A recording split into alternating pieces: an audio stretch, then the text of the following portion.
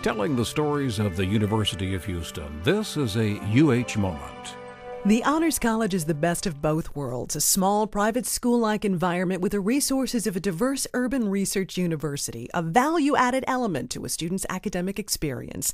Dean William Monroe. It's smaller classes, it's more of an emphasis on writing and conversation. It's an approach that emphasizes questions more than answers. Part of the emphasis is its signature course, The Human Situation, which exposes students to the history of Western thought.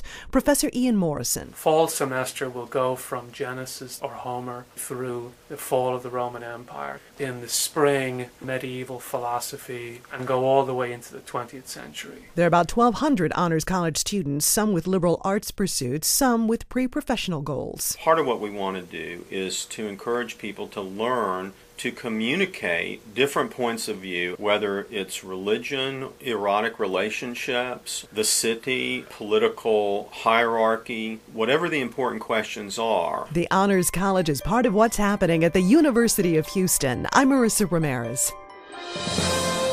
Telling the stories of the University of Houston, this UH moment is made possible by KUHF, a listener supported radio from the University of Houston.